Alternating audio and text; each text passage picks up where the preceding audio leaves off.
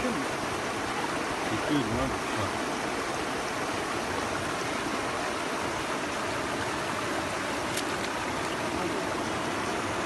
Bitir mi?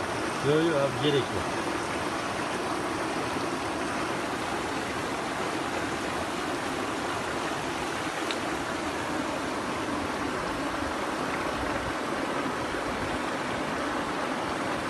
Evet.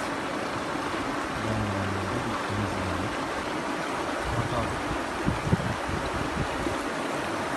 Evet. Senin nasıl?